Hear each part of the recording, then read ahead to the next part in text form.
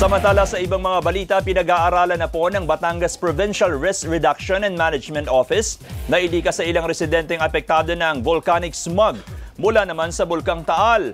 Sinabi ni Dr. Amor Kalayan, ang head ng Batangas PD RRMO, na bagamat wala pang rekomendasyon ng paglika sa ilalim ng Alert Level 1, iniisip nila ang masamang epekto ng VOG sa kalusugan ng mga residente.